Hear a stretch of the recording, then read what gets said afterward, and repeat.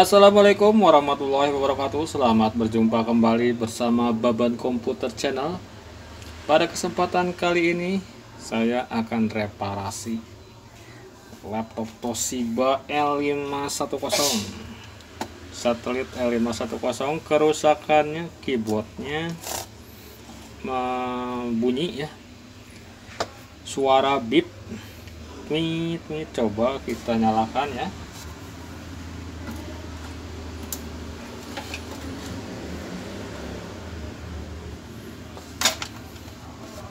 Oke kita nyalakan laptopnya.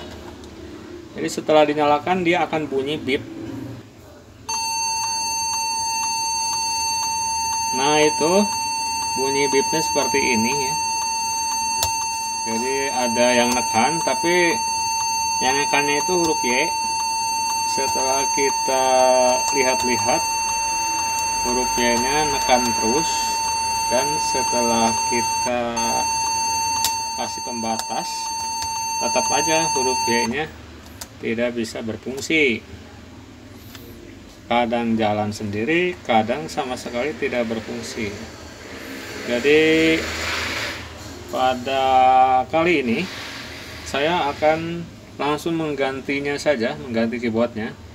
Karena dikhawatirkan kalau di servis jadi tidak akan tahan lama soalnya banyak sekali huruf yang bergantian eh, eh, konslet ya. Jadi nyambung sendiri nekan sendiri huruf-hurufnya. Nah, dari awal itu yang banyak itu Y huruf Y. Tapi begitu kita jalankan jadi huruf Y tidak bisa menekan tidak bisa muncul keluar gambar tetapi kadang bunyi itu kadang nekan sendiri kadang tidak muncul. Nah itu mengganggu sekali ketika kita ini seperti ini. Saya tekan huruf T keluarnya Saturn oke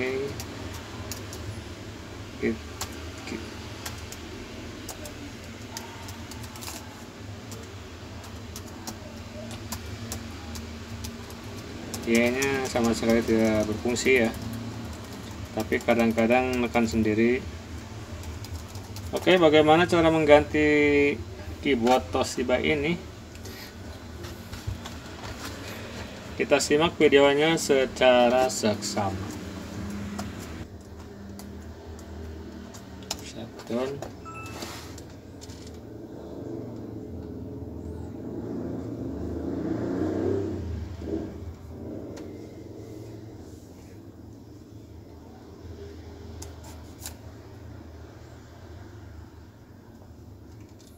Oke, masih proses shutdown.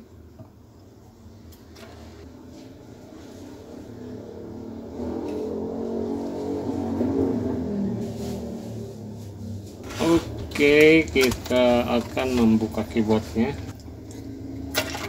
Caranya kita buka dulu pengunci ini ya dari atas.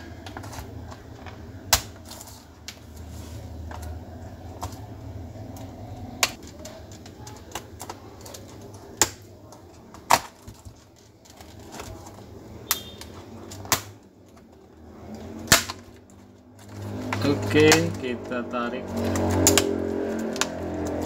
arah atas secara hati-hati. Saya klemnya sih seperti ini, jadi klemnya jangan sampai uh, patah ya. Nanti biar bisa kita pasang kembali.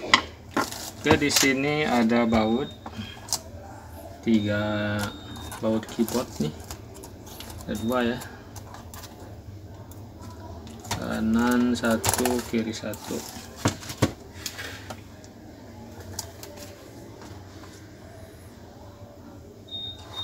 Kita buka bautnya dulu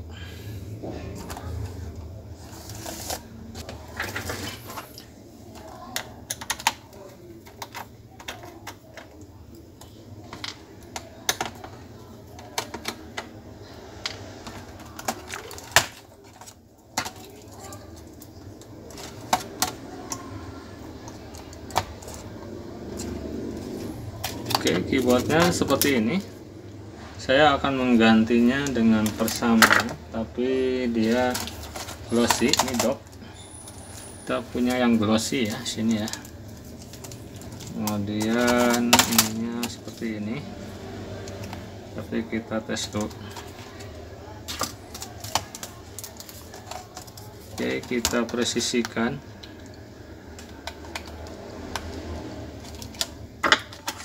selanjutnya tekan kancingnya ke arah depan. Eh, biar kunci ya. Oke selanjutnya kita tes nyalakan laptop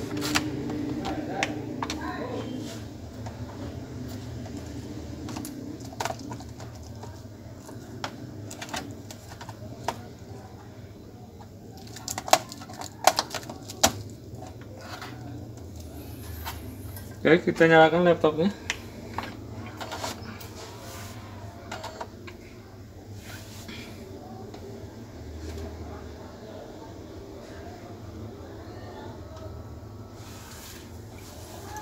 Tidak ada bunyi beep dan Windowsnya langsung masuk ke starting Windows ya. Tidak dulu ke pilihan Windows 7. Kalau ada pilihan berarti ada keyboard yang nekan ya.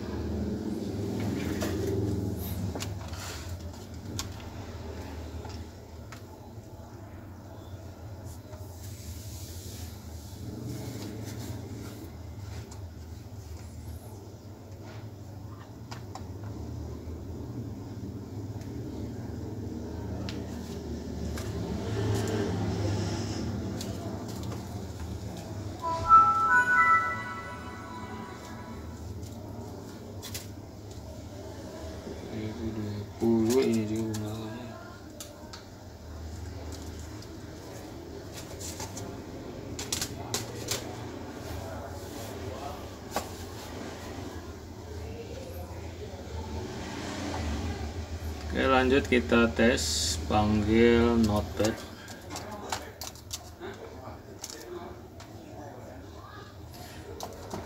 Tes.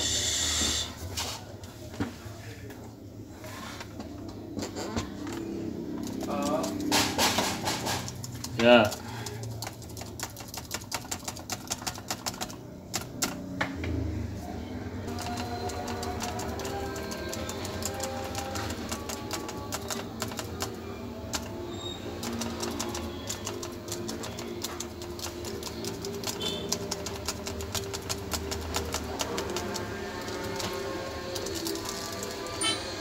oke bagus ya. Selanjutnya kita pasangkan